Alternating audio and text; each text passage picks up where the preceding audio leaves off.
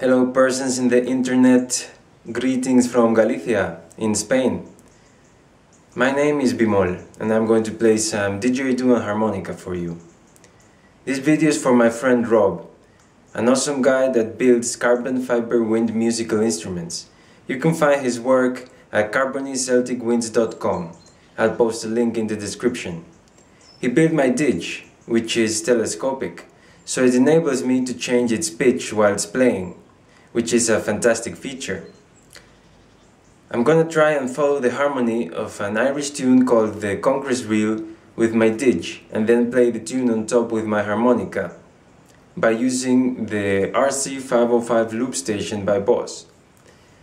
The backing track you hear me display is my composition that I made using this tiny sequencer synth sampler device called the OPZ by Teenage Engineering very cool gear.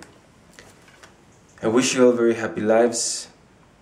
Hope you enjoy the music. And by the way, this is a video contest for Rob's store, so your like on this video is very much appreciated, so I may win the contest.